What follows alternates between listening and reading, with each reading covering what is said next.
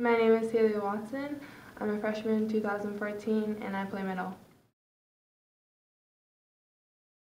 Um, criminal justice, um, kind of undecided.